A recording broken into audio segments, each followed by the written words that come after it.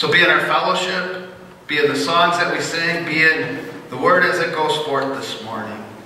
And when we leave this place, Father, may we have learned the desperate desire of our hearts, the need that we have for you. And we pray this in your holy and precious name, the name of Jesus Christ, our Lord and Savior. Amen. Amen. Friends in the Lord, from Psalm 66, 1 through 9 this morning as our call to worship, these words from the psalmist. Shout with joy to God, all the earth. Sing the glory of his name. Make his praise glorious. Say to God, How awesome are your deeds! So great is your power that your enemies cringe before you. All the earth bows down to you. They sing praise to you. They sing praise to your name.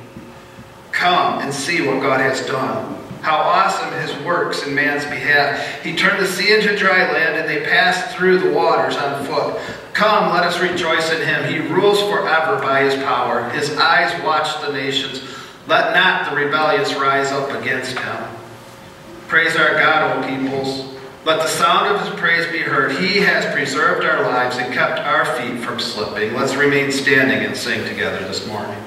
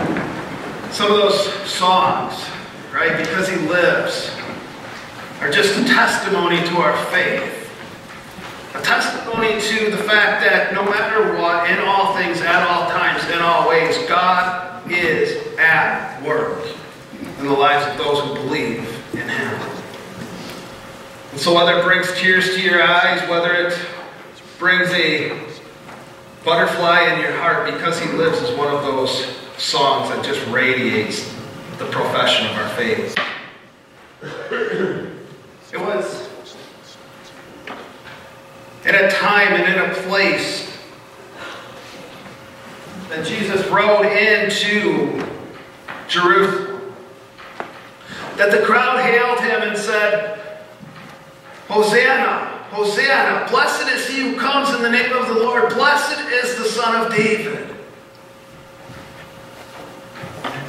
And in between that space of that Hosanna cry and that cry of Crucify him, crucify him. Let his blood be upon us and upon our children. We read from Matthew's account the underhandedness, the sneaky conniving of the Pharisees and the Sadducees, the, the desire to trip Jesus up, to get him to recant and to say, that none of the Old Testament is important. What's important is that you worship me. And in saying that, that they, they believe Jesus is blasphemy. So here from Matthew 22, verses 34 and following, we have this commandment. Hearing that Jesus had silenced the Sadducees, the Pharisees got together among themselves, and one of them an expert in the law, tested Jesus with this question Teacher, which is the greatest commandment in all of the law? And when that teacher of the law, when that, when that lawyer asked Jesus this, he's looking and he's saying, Of all of the Ten Commandments, if we could summarize everything, Jesus, in all of the Ten Commandments, which is the most important? And Jesus responds Love the Lord your God with all your heart, with all your soul, with all your mind. This is the first and greatest commandment. But I'm telling you today, a second is like it love your neighbor as you love yourself. Now, all of the law and the prophets hang on these two commandments. And then Jesus presses it even further when he says, I tell you, I tell you, not until not until I come again will the law be abolished. Not until every I is dotted and every T is crossed will we be able to deal, do away with the law and the prophets. I am that fulfillment. And it's with that that we profess our faith in the Lord Jesus Christ as the representative agent of Almighty God the Father. And Friends, I'm eager, excited to be able to do this again this, this Sunday with Riley Kleinstra. Riley's come and she stood before your council and, and she's professed her faith before the elders and deacons of this church and said, Yes, Jesus Christ is Almighty God in the flesh. Yes, I believe that the Bible teaches exactly what the creeds and confession teach, which is that Jesus Christ is my Lord and Savior. Yes, I believe. And I'm willing to take my stand on what it is I believe. So, Riley, I'd ask you to stand and give your response to these four questions this morning before God, your family, and this church family. Riley, the first question is this Do you believe that Jesus Christ is the Son of God? that he was sent to redeem the world? And do you love and trust him as the one who saves you from your sin? And do you, with repentance and joy, embrace him as the Lord of your life? Riley, the second question is Do you believe that the Bible is the Word of God, revealing Christ and his redemption, and that the confessions of this church faithfully reflect this revelation? Then, question number three is Do you accept the gracious promises of God which were sealed to you in your baptism? And do you affirm your union with Christ in his church, which your baptism signifies? And fourth and finally, do you promise to do all you can with the help of the Holy Spirit to strengthen your love and commitment to Christ by sharing faithfully in the life of the church, by honoring and submitting to its authority? And do you join with the people of God in doing the work of the Lord everywhere? Riley, what is your answer? Amen. And people of God, we do not sit idly by in this blessed profession. You see, ever before Riley knew it, she was baptized. That was the sign that, that Christ was working through his grace in her life. And so today, as she stands, Congregation, I'm going to ask you to stand and join with her. And, and the affirmation is simply this Congregation, do you promise to walk faithfully with Riley, to teach her and, and instruct her and hold her accountable to these vows that she just made before God and, and His church? And do you promise to uphold her, to guide her, to encourage her? to hold her accountable in life and witness. Congregation, our Lord Jesus Christ, if it's your desire to affirm to say, we do, God helping us. Congregation, what's your answer? We do, God helping us. Amen. Praise God. You may be seated. Riley, I have a certificate and a gift I will give you after the service is done this morning, but it is my honor and privilege to welcome you to full participation in Christ Church here represented. So welcome. Friends, as we go to prayer this morning, uh, Don and Nancy had reported that Lacey and Jonah um, gave birth to their baby uh, Liam, and um, Lacey was in the hospital earlier this week uh, with with baby Liam, and we praise God and God's miraculous gift of healing. Both both Lacey and Liam are home again and doing quite well. So praise God for that. Um, and we have. Um, new birth in the uh, Tucker family uh, with Madison Grace and uh, a bunch of stuff that's listed on the prayer page and a bunch of areas in which to pray into. Uh, friends in the Lord, I'm asking uh, this morning before we go to prayer, are there any prayer concerns, announcements, or praises in the midst of God's people? Yes? Thanks that Kathy can be here. Amen. I did see that. Kathy, welcome back. It's good to see you. We celebrate a God of healing, amen? And there's a bunch of our uh, winter birds that have returned. I, I, guess, I don't know if I like that term or not, but welcome back to the Vandermeelens and um, to the Mirrors. And yeah, just welcome back to all of you. Uh, so let's pray together.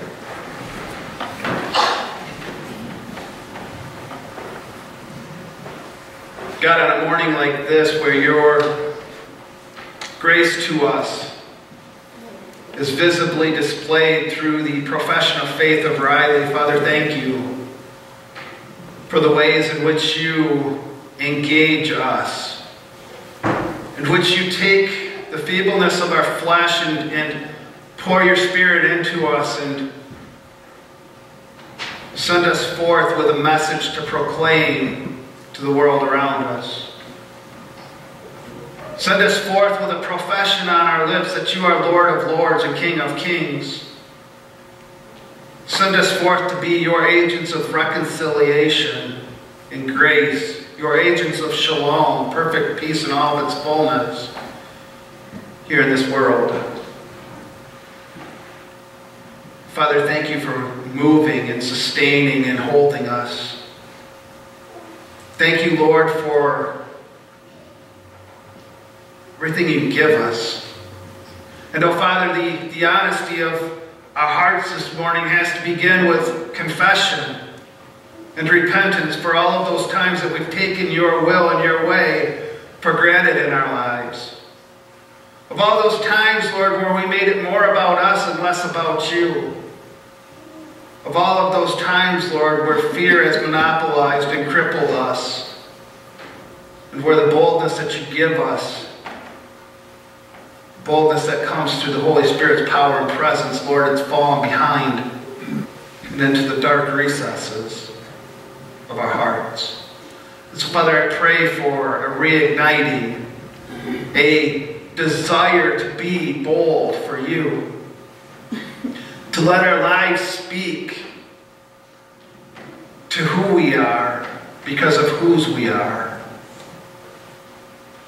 And Lord, that strips us of identity in our family, or identity in our job or career, or identity in our kid, kids and children and grandchildren. It strips us of the ability of our own selves, Lord, of our hands and of our knowledge. And it lays us bare before you so that you, Father, fill us with your grace and presence.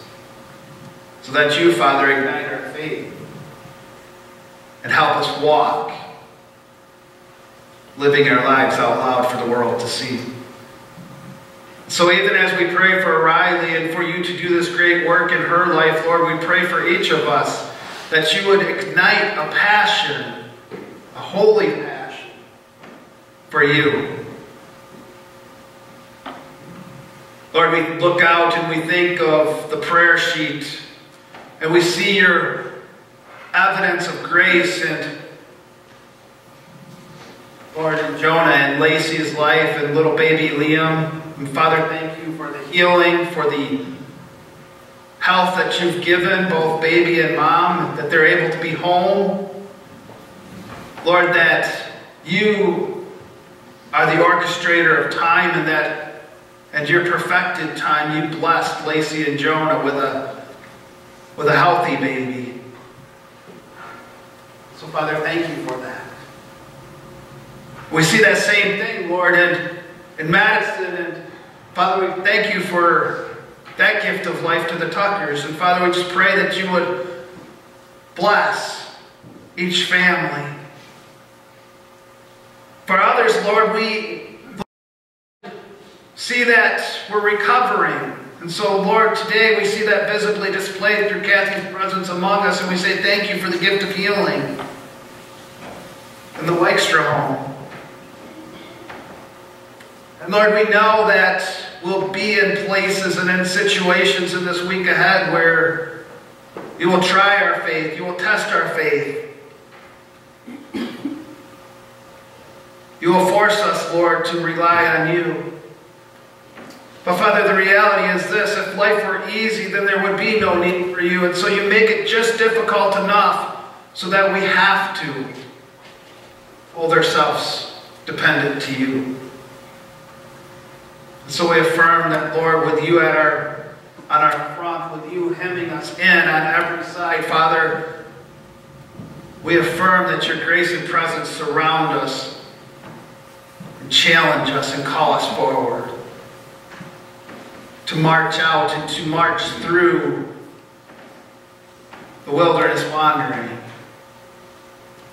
in each of our lives and to make our lives a living example, a living testimony to you, O oh Lord.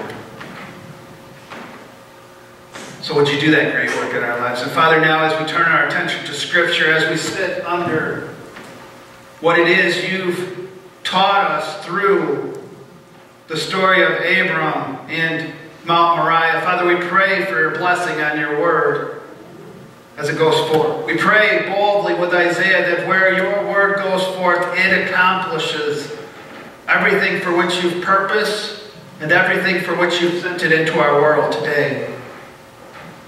So though the story is a familiar story, though the text is a text we've been studying for some of us since Sunday school, Father, we pray that you would open our hearts to receive it well this morning and that you would plant a different message in our lives, a message that's shaped and formed by your word, which is living and alive.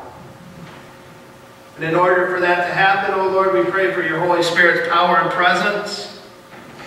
We pray that you would wash us thoroughly, that you would convict us where we need to be convicted, that you would transform us more and more to look like Christ and less like the people we were when we came here this morning. So, Father, to your name be all the honor as we read your word, be all the glory, and be all the power, both now and forever. Amen.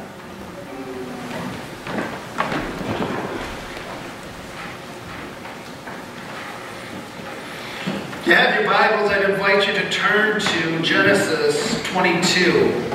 Genesis 22, we'll read verses 1 through 19 this morning of Genesis 22. It's the story of Abraham on top of Mount Moriah. And the title of the sermon this morning is The Journey of Faith. And we'll see how Mount Moriah plays into the journey of faith. So, reading together then from the word of the Lord from Genesis 22, verses 1 through 19. These words. Sometime later, God tested Abram and he said to him, Abraham, here I am, he said. Then God said, Take your son, your only son, whom you love, Isaac, and go to the region of Moriah and sacrifice him there as a burnt offering on a mountain I will show you. So early the next morning, Abram got up. And he loaded his donkey, and he took with him two of his servants and his son, Isaac. When he had cut enough wood for the burnt offering, he set out for the place God had told him about. So on the third day, Abram looked up, and he saw the place in the distance, and he said to his servants, You stay here with the donkey, while I and the boy go over there. We will worship, and then we will come back to you. So Abraham took the wood for the burnt offering, and he placed it on his son Isaac, and he himself carried the fire and the knife. But as the two of them went on together, Isaac spoke up, and he said to his father Abraham, and he said to his father Abraham, Father, yes, my son Abraham replied, the fire and the wood are here, Isaac said, but where's the lamb for the burnt offering? Abram answered, God himself will provide the lamb for the burnt offering, my son. And the two of them went on together. And when they reached the place God had told them about, Abram built an altar there. He raised the wood on it. He bound his son Isaac. He laid him on the altar on top of the wood. And then he reached out his hand and he took the knife to slay his son. But the angel of the Lord called out to him from heaven, Abraham, Abraham, here I am, he replied. Do not lay a hand on the boy, he said. Do not do anything to him, for now I know that you fear God because you've not withheld him from me. You have not withheld from me your son, your only son. So Abram looked up, and there in the thicket he saw a ram caught by its horns.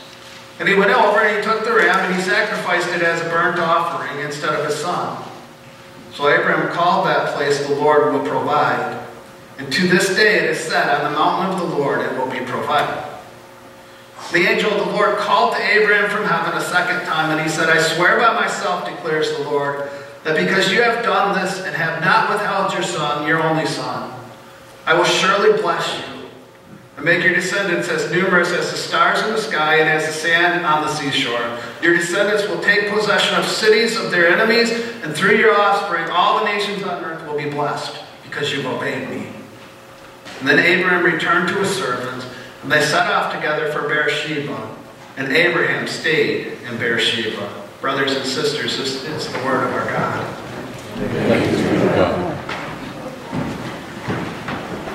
I want to begin this way. Hi, my name is Derek, and I'm a bibliophiliac. Anybody know what a bibliophiliac is?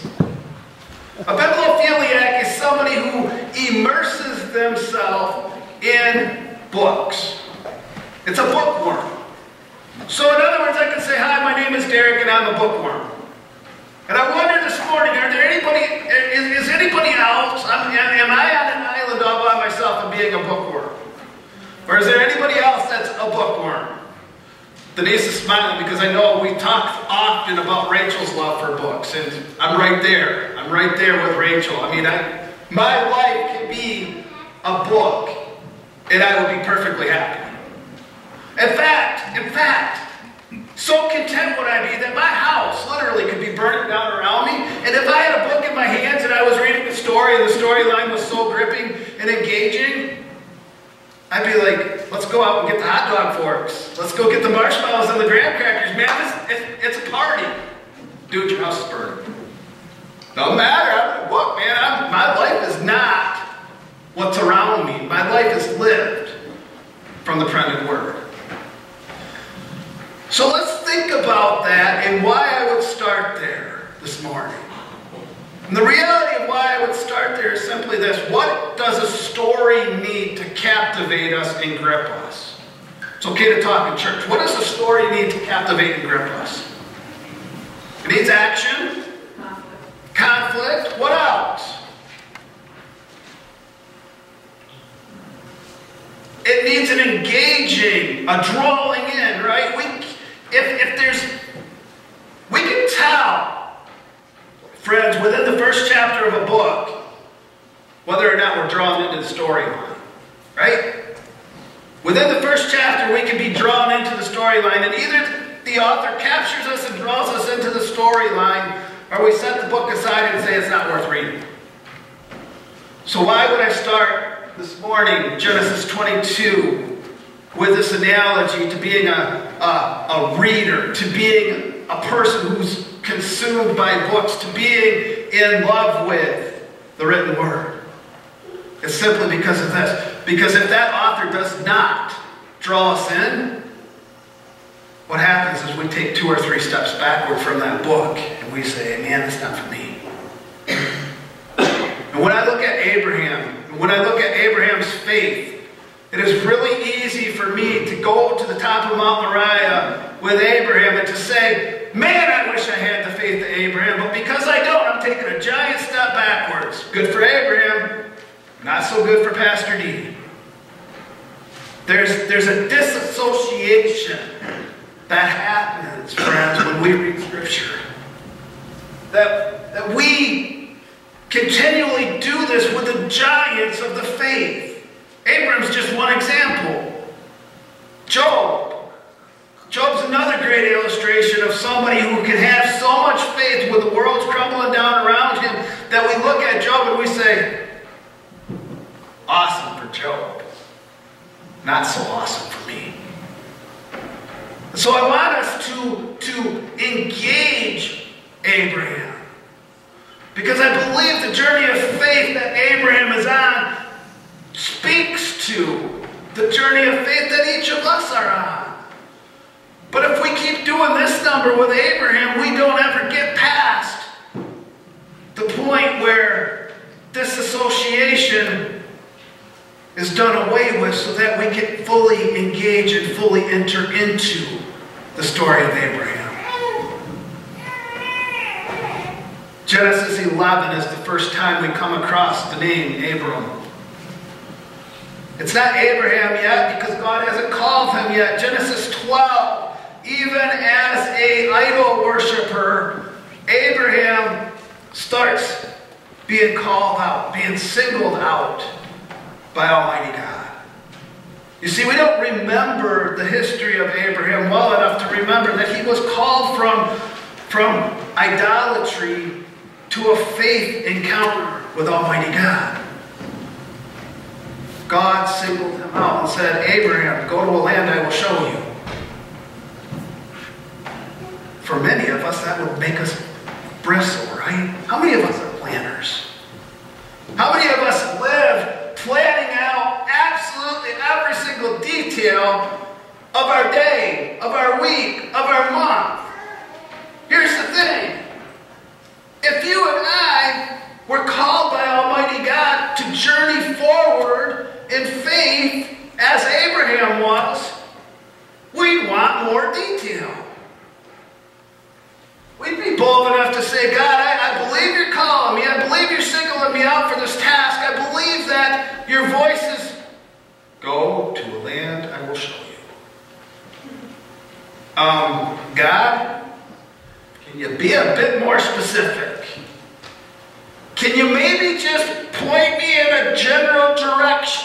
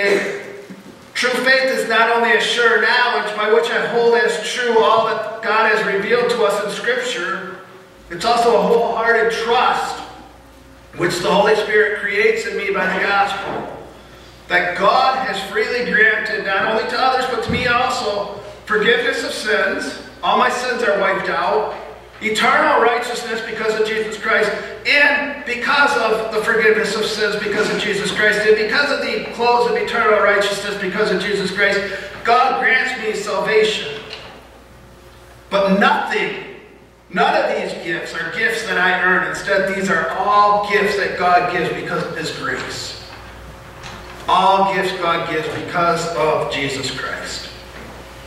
And if we take both of those definitions together and combine them, then what happens is we start seeing the magnificently multifaceted, prismatic dimension of faith.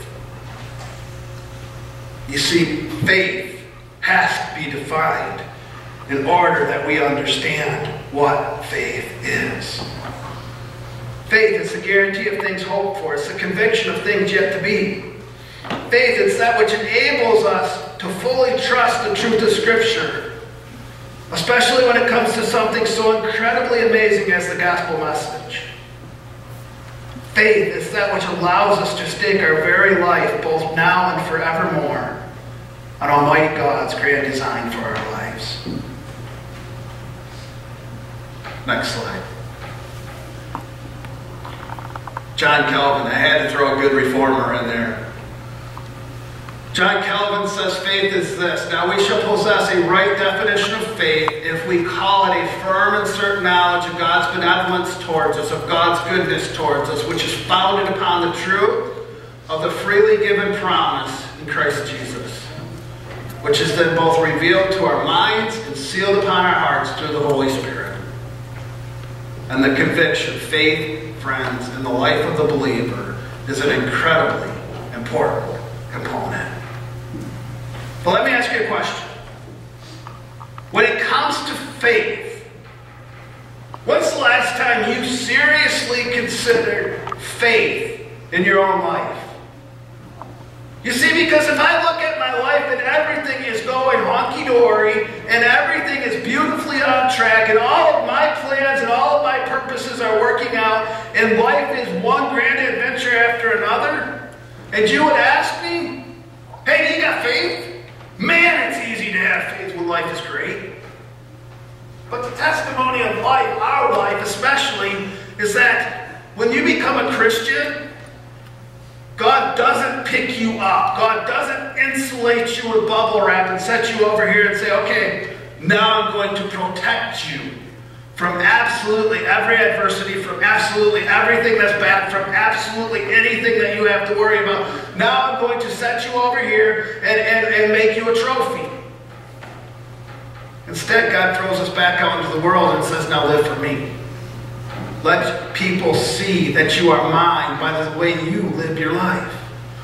St. Francis of Assisi preached the gospel always. Use words when necessary. And so what happens is that God purposefully challenges us by placing us in the valley of the shadow of death. Simply to say to us, do you trust me? Do you trust me? Alex, the next slide. Congregation participation, which you know I'm very fond of. So I want you guys to participate in this silly little experiment. And, and the question is quite simple. Which crystal is more visually stimulating to you? A or B? B. How many would say A? Crystal A is more stimulating to me. Okay, so there's a couple people in our congregation this morning, God bless you, that are ordered and like life to be ordered. How many would say crystal B is more visually stimulating? Yeah, the majority of us are those that understand that there's highs and lows. There's scratches and scuff marks. There's peaks and valleys. There's times where beauty emerges by having to go through some pretty hard spots. You can't see it real well on this picture, but that crystal B, I have it in my office.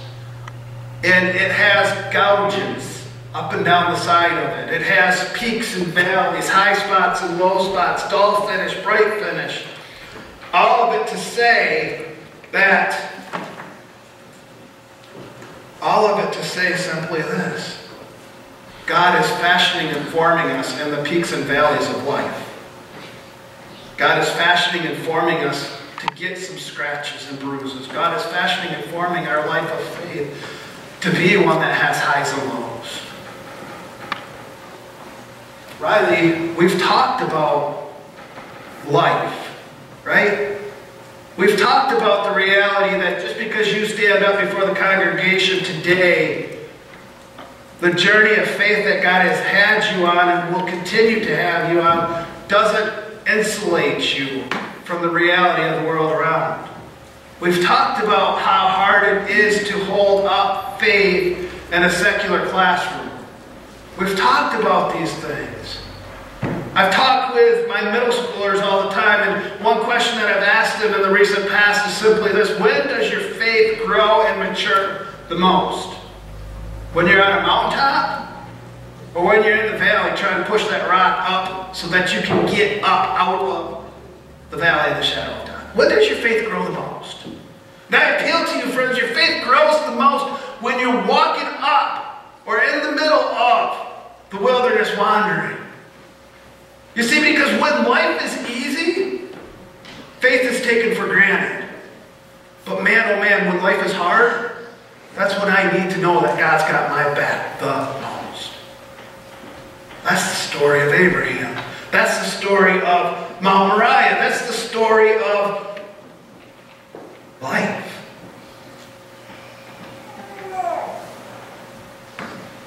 So when does your faith grow the most? It grows the most when you're in the valley of the shadow of death, when you're trudging up the mountain. Faith, friends, that's living and vibrant and active and alive. A faith that will sustain the harsh demands and testings that this world will place upon it is a faith, next slide, that is forged in the crucible of real life living. Faith that is alive and active and vibrant and living is faith that is forged in the crucible of real life living. It's journeying through the highs and lows that life throws at you. It's, it's picking up a few scratches and scars along the way. It's navigating the unexpected dips and turns. And in it all, it's saying, God, I pray you're with me because I can't do this journey any other way than if you're with me. Faith, friends, is forged in the crucible of real life living. Which is why, friends, though we may look at Crystal A and say, man, I, I, I, I wish my life looked like that, there's none of us that are here this morning whose lives are as perfect as that first crystal. Next slide. That through Scripture's own testimony, Almighty God will test and try your faith continually in order to grow and develop your faith, in order to mature your faith. It's the question, I don't know if you can see the dialogue box, but it's the question that God asks each of us I have a plan for you. Do you trust me? Trust me enough to follow me wherever I lead you? Abraham, do you trust me to go to Moriah with Isaac? And see, for Abraham, Isaac isn't just a son. Isaac is sacred. Isaac is special. Isaac is that, that one thing that Abraham can look at and put his finger on and say, Now I know I'm blessed. Because I have this son. Because I have this covenant promise. Because God granted. It. Now I know I'm blessed. But watch this. Abraham, here's what I want you to do. I want you to take your son, the one that you love very much, the one that you love more than anything else in this world, the one that you have staked your legacy on, the most valuable thing in your life. And Abraham, I want you to go to Moriah.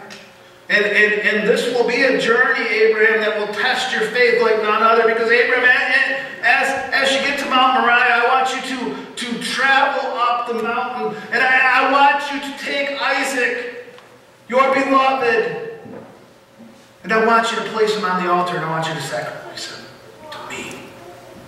That's what I want you to do, Abraham. Scripture never tells us what questions Abraham asks, does it? It never says that there was hesitation on Abraham's part, does it? Instead, it says Abraham did exactly what God asked Abraham to do. He gathered the wood. He gathered the fire. He took two of his best men with him. And when he gets to that place where he knows what's expected of him, he says to his men, hey, you guys stay here. Stay right where I have you. We'll come back, but you stay here. We have to, me and my son have to go and worship. Even in the middle, you see, because faith testing comes from those who are closest to us, doesn't it? Even in the middle of the journey up the mountain, when Isaac, his own beloved son, looks at him and says, um, Aren't you forgetting something, old man? Like, I got the fire. Or I got the wood on my back, you got the fire in your hand, but aren't you forgetting something? Aren't you forgetting the sacrifice? Where's the ram? Notice Abraham doesn't look at Isaac and say, huh, very perceptive son. You're, you're the sacrifice. Because I'm telling you, friends, if Isaac knew what it was that was expected of Abraham, Isaac would have bolted. He would have been like, check you later, I'm out of here, you're crazy. So Abraham never tells Isaac anything about what God's expecting of him. He just says, God, my son, will provide. That's faith, friends. In the middle of it all, when God asks Abraham for his most important possession, he looks at his son, the one that's dearest to him, and says, Don't worry about it. God's got it. God will provide. And they journey on. Abraham binds Isaac. And we're told Isaac's about 13. Isaac's old enough to fight back, but Isaac willingly allows himself to be bound. Isaac is placed on the altar. And it's not until Abraham has his knife in hand, ready to sacrifice that which is most important, that the angel of the Lord stops. and says, Look over there. See, Almighty God is in the business of testing us with a question Do you trust me? No matter what I do, no matter where I lead you, no matter how much questions you have, no matter how, whatever, do you trust me? Do you trust me enough to follow you wherever I may lead you? Next slide. And the ultimate question is this Do you trust me? God's question to Abraham, God's question to you and I. Do you trust me enough to be your everything? Even if I take everything else away from you, and you're left with just me, am I enough for you? Abraham, do you trust me that much? You see, it's the same question that God asks each of us. Next slide. Faith is rooted. Faith is established in the unwavering assurance that in all things, at all times, in all ways, our God is more than enough. Amen? So, friends, let me ask you the question that God's asking Abraham Is God enough for you in all things, at all times, in all ways? Is God enough for you? That's what faith requires. Despite uncertainty, regardless of questions, Abraham journeys on, bolstered by an unshakable faith in the God who had been testing him since the very beginning. God, I don't know what you're doing.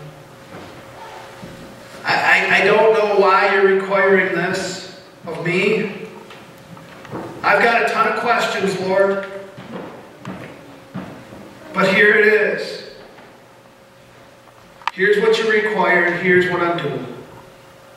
And it's not until, as I said before, the knife is raised, ready to plunge down into the child of covenant, that God stops and interrupts Abraham. Next slide.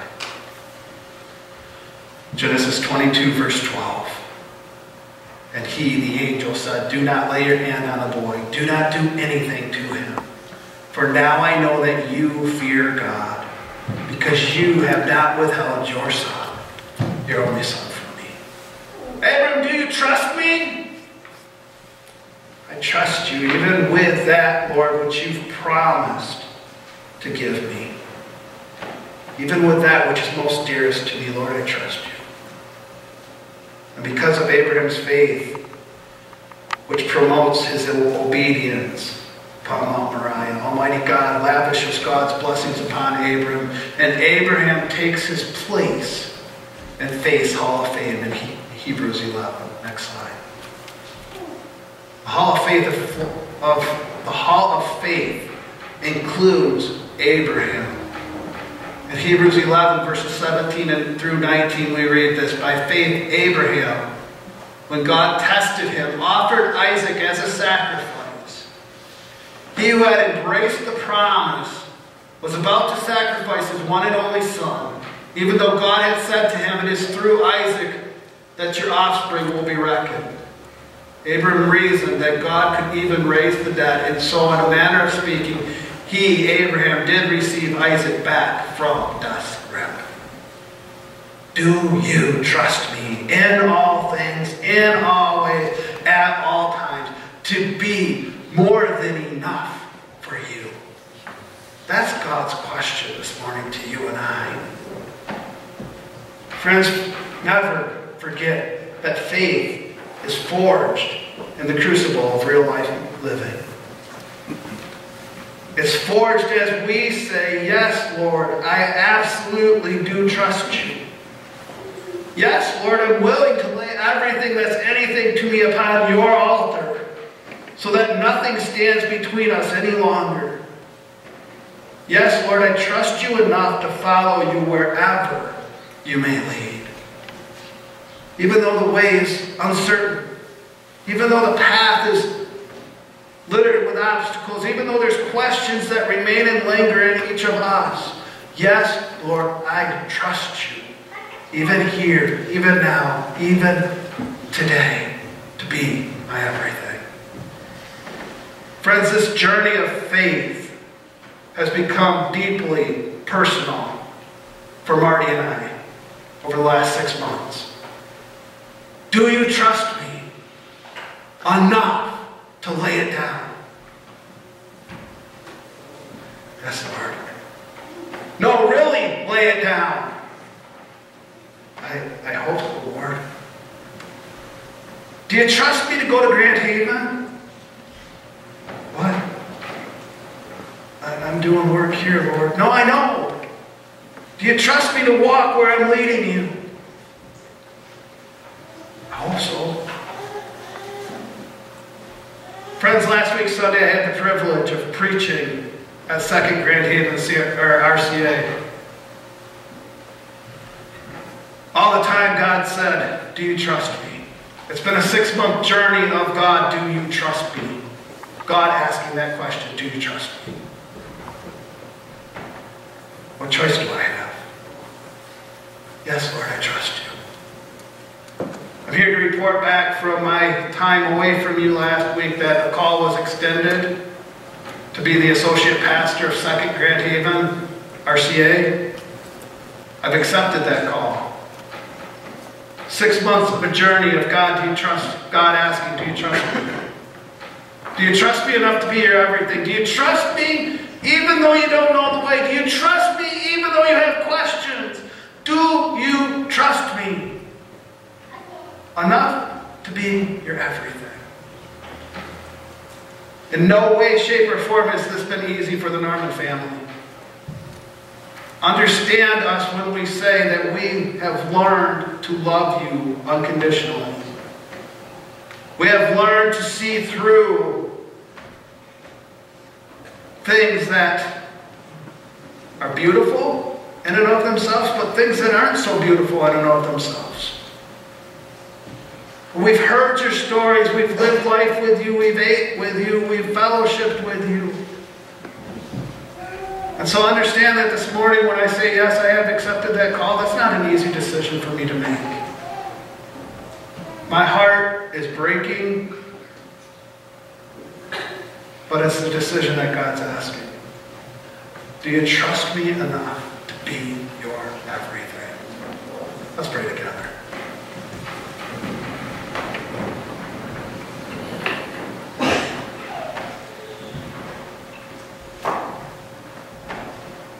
Do you trust me? Do you trust me enough to be your everything? Do you trust me enough, Lord, that it's the question you're asking us. Do you trust me enough to go where I lead? Do you trust me enough to pick up the pieces, the questions, the uncertainty, the obstacles and the landmines that we'd like to place in the way? Do you trust me enough to get out of my way and let me be God in your life? And Lord, we pray that we might respond. Yes, Lord, I believe. Yes, Lord, I'm willing to trust you with my everything. Yes, Lord, I, I understand and know that in all things, at all times, in all ways, you are good. And you lavish your goodness on us. Oh, Father, I pray this morning that we would have the conviction of our Savior, Jesus Christ, that, Lord, as he's hanging on the cross, he, he cries out, Father, into your hands I commend my spirit. He willingly relinquishes, surrenders, and submits himself to your will and way. And Father, I pray this morning that that would be our prayer. Here I am, Lord, send me. I don't know what I'm doing. I don't know where, where the journey will take me. But I'm journeying on, Father, guided by faith. Because I know and I believe that you are a good, good God. And so, Father, where we falter in our faith, build us. Where we've made life too much about us and not enough about you, return us to your way. Lord, as you ask that question, do you trust me? May our answer be an unequivocal, wholehearted, yes, Lord, I trust you. Because I know that in all things, at all times, in all ways, you are trustworthy. And you are more than enough. May this be the prayer of our life. We offer it to you. In the name of Jesus Christ, our Lord. Amen. Let's stand together and sing, He will hold me